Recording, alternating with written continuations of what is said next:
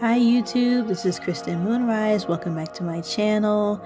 Uh, this is going to be like a voiceover or journaling, reflection, meditation, maybe even video.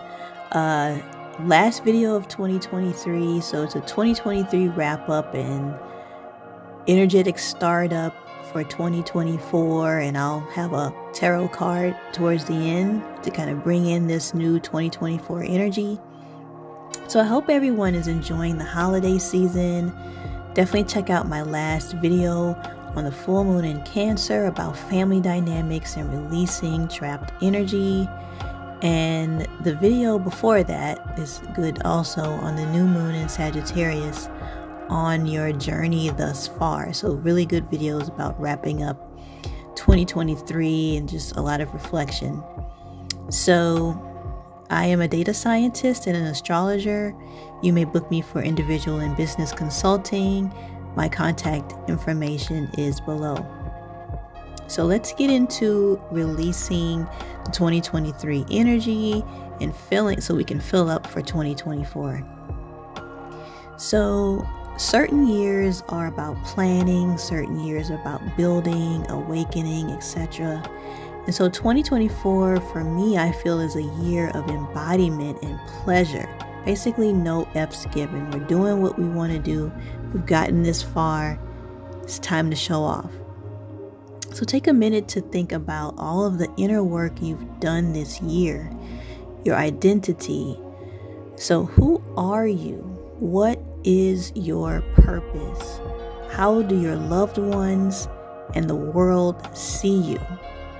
How do you see you at this point in your life? That is a big deal for me on this channel is really helping others really get to know who they are and really ask themselves certain questions, look at things from a different perspective. So this is all about your identity. I think it's important for us to go into 2024 knowing ourselves as much as we can. And going forward, of course, knowing yourself even more, going even deeper.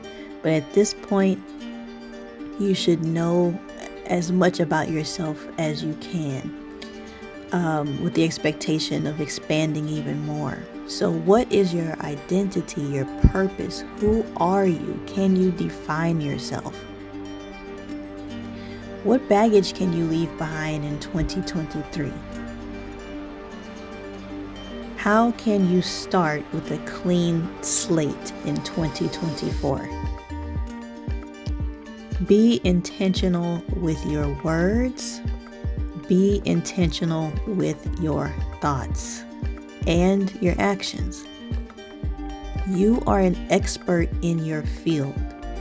This is no more acting like you don't know anything. You do know, show it off. No more hiding. Leave all fear and hesitation behind in 2023. The energy for 2024 just doesn't have any room for that fear and hesitation.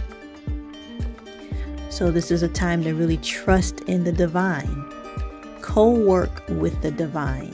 This should be a daily thing, have some sort of ritual practice. Do not talk yourself out of what you desire. Affirm your desires. Be your desire. Visualize the upleveled version of yourself. This includes asking yourself, what do you look like? What does the upleveled version of yourself look like? How do you speak? How do you walk? What clothes do you wear? Don't be afraid to see yourself in a new light. Who are your friends? Where do you live? What are you available for? How do you become more like this better version of yourself? Try to close that gap on where you are now and where you want to see yourself, where you want to be. Envision actively living the life that you want. So that means you may have to close some doors. What doors need to be closed in order for you to be that version of yourself? What doors need to open for you to be that version of yourself? What opportunities do you need to make that happen? Consider your mistakes, your disappointments in 2023. How can you reroute or transform them?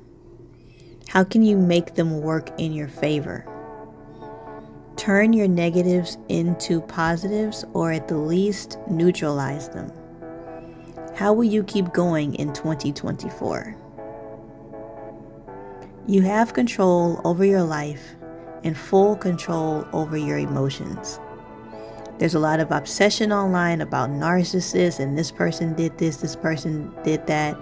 Stop putting your energy into that nonsense. Get over it. Overcoming the, the silliness all starts from within you and what you decide to be available for. Don't feed that energy. I remember a elementary school teacher said, "Don't give a clown a show." So I would say that's energy to definitely take into 2024 with those that you know bring the drama, but they only bring it because they know that you feed into it. Claim that no one will exhaust you in 2024. If someone is draining your energy, don't allow them to do so. So again, claim that no one will exhaust you in 2024. Don't give them that room to do so. So I've got a picture of the tarot card, the world. Here it is the last card in the major arcana, which shows the complete journey. This is you at the end of the journey. This card represents fulfillment, being centered, harmonious, you're embodied. You've overcome the obstacles. You've gone through all of the emotions to get to where you are. You have the insights. You completed the journey a completely different person. You've changed. Your mindset is different. You can now teach others what you know. People look up to you now. You are the example.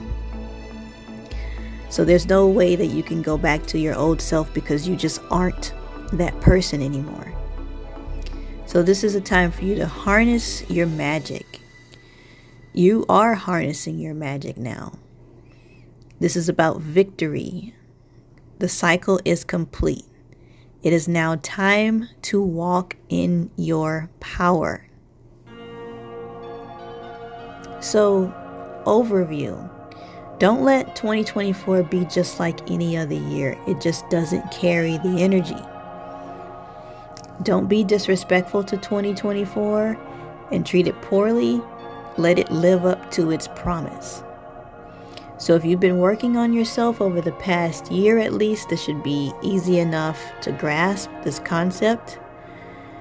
And if you're still struggling with your identity, continue to check out my moon videos um, as I talk about on each new and full moon energies to release and uh, start.